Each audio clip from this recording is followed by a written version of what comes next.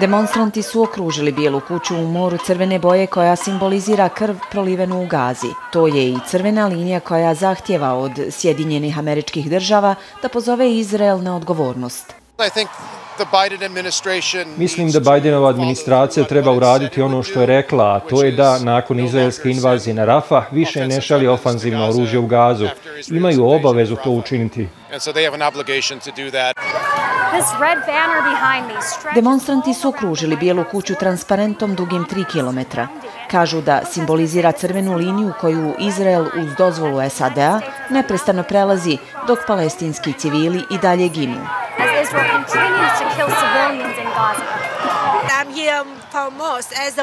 Ovdje sam prije svega kao majka kojoj je stalo do djece.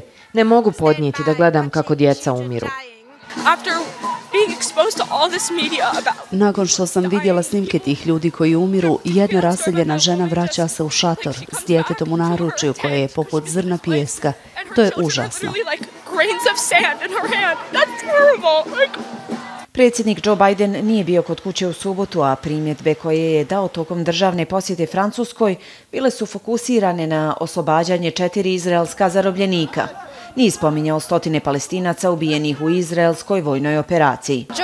Joe Biden smatra da su životi izraelaca vrijedniji od života palestinaca. To apsolutno nije tačno. Ankete pokazuju da sve više američkih glasača podržava trajni prekid vatre u Gazi. Taj stav posebno je izražen kod mlađih glasača, čija će podrška Bajdenu biti potrebna na predsjedničkim izborima u novembru.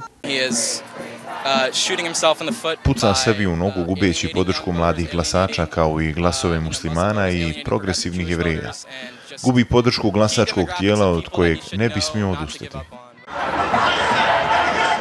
Emocije su uzburkane. Najmanje jedan okršaj izbio je između demonstranata i policije koja je koristila biber sprej protiv osobe koju su pokušali privesti. Ali protesti su uglavnom bili mirni, a demonstranti ustrajni.